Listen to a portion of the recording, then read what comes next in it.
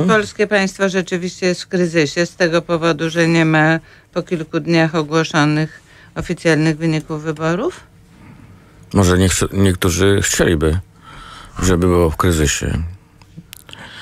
Ale przy, przesunięcie e, ogłoszenia wyników wyborów e, to można powiedzieć, że to kryzys PKW, e, a nie państwa polskiego.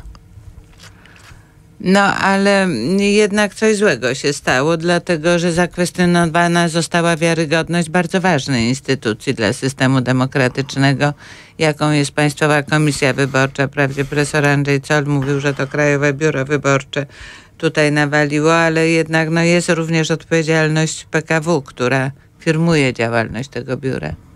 Mm, tak, zgadzam się. No, na urzędników y, jest y, najłatwiej zwalić to jest e, wspólna odpowiedzialność. Ale tu nie chodzi oczywiście tylko o PKW, chodzi o, o instytucje wyborów demokratycznych. To jest e, sedno sprawy. E, więc, e, ale ja bym zalecał ostrożność w ogóle w kwestionowaniu e, tych wyników. Widzimy, że PKW ma problemy. Zaś, e, żeby kwestionować wyniki, no trzeba poczekać do ich ogłoszenia. No, nie znamy tych wyników wiemy. E, jakieś mamy poszczególne informacje cząstkowe. Ja też takie informacje mam. Ale e, no, żeby dyskutować e, na poważnie, żeby także składać procesy wyborcze, potrzebne są wyniki. A kwestionowanie generalnie wyborów całościowych, to także kwestionowanie demokracji. No, tutaj tych wszystkich, którzy, których którzy kwestionują w tej chwili, no, nawoływałbym do, do rozsądku. E, polityka nie może brać górę nad e, znaczy, no, dobrem państwa, już, interes partii też nie może. Już wzięła. Brać, Prezydent wczoraj brać nawoływał. Do, górę nad interesem państwa.